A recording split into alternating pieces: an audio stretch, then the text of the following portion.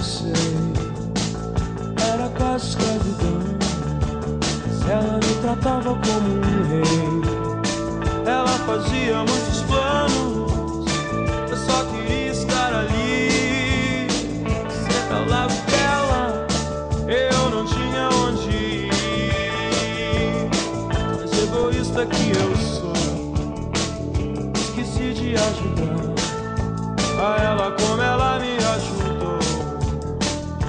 não quis me separar. Ela também estava perdida e por isso se agarrava a mim também.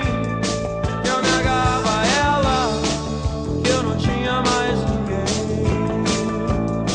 E eu dizia ainda é cedo, cedo, cedo, cedo, cedo.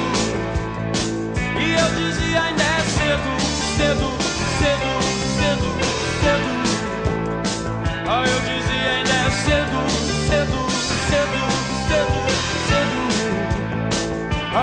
e ainda é cedo.